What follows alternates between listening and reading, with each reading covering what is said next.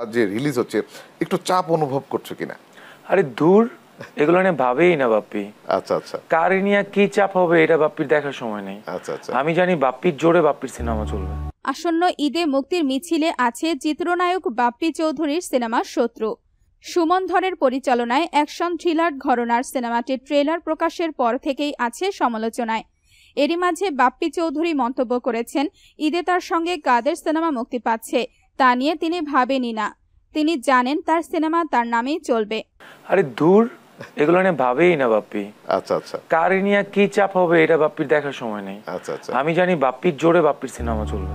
এবারের ঈদে বাপ্পির সঙ্গে মুক্তি পাচ্ছে চিত্রনায়ক শাকিব খানের লিডার আমি বাংলাদেশ অনন্ত জলিলের কিল হিম। এই দুই নায়কের সঙ্গে সিনেমা মুক্তি নিয়ে চাপে আছেন কিনা বাপ্পি? এক টেলিভিশন চ্যানেলের প্রশ্নে বাপ্পি যে উত্তর দিয়েছে সেটা এমন। আরে ধুর, এগুলো নিয়ে ভাবেই না বাপ্পি।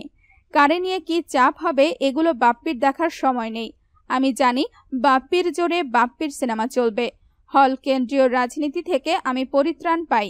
মানে আমি যদি এই জায়গা থেকে মুক্ত হতে পারি, আমার কাজটা আরও ভালো কাজ মানুষের কাছে থেকে যাবে। দীর্ঘ বিরতির পর ঈদের মতো বড় উৎসবে বাপ্পির ছবি মুক্তি পাচ্ছে।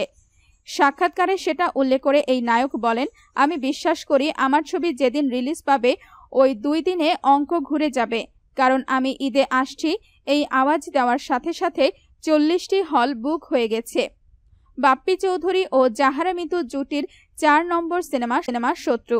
সিনেমায় বাপ্পিকে দেখা যাবে একজন পুলিশ কর্মকর্তার চরিত্রে। মিতু অভিভাবকহীন এক বখাটে তরুণী।